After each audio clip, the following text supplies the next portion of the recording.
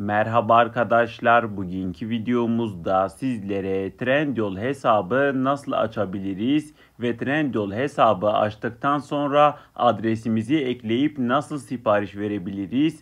Bunu adım adım uygulamalı şekilde göstereceğim. Kafanızda hiçbir soru işareti bırakmayacağım. Arkadaşlar şimdi ben Trendyol'a üye olacağım, hesap açacağım. Bunu da yaparken sizlere nasıl yaptığımı göstermiş olacağım. Öncelikle Trendyol hesabı açabilmek için Play Store veya App Store'a giriyoruz. Hemen Trendyol yazıp aratıyoruz ve en yukarıdaki Trendyol uygulamasını telefonumuza indirip Trendyol uygulamasına giriş yapıyoruz.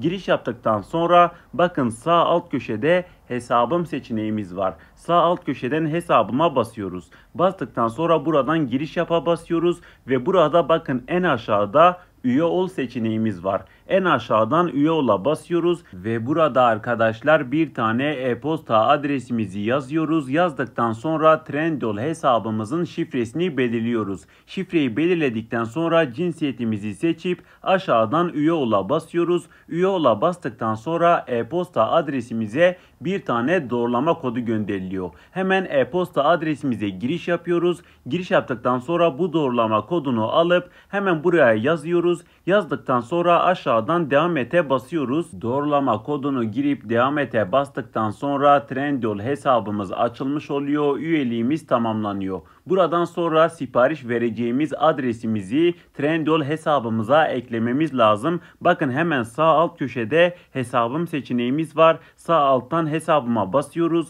Bastıktan sonra buradan aşağıya iniyoruz. Aşağı indiğimizde bakın en altta hesap ayarlarım seçeneğimiz var. Hesap ayarlarıma basıyoruz ve burada ikinci sıradan adres bilgilerim seçeneğine basıyoruz ve ortadan adres ekleye basıyoruz. Burada arkadaşlar ismimizi, soy ismimizi, telefon numaramızı, adresimizi tane tane giriyoruz. Bakın adres başlığı kısmına siparişinizi eve istetiyorsanız ev adresi, iş yerine istetiyorsanız iş yeri adresi yazıyorsunuz. Adres bilgilerimizi doldurup aşağıdan kaydete basıyoruz. Kaydete bastıktan sonra artık arkadaşlar Trendyol hesabımızdan sipariş verebiliriz. Sizlere her şeyi adım adım gösterdiğim bir beğeni atarsanız çok mutlu olurum. Hepinize iyi günler.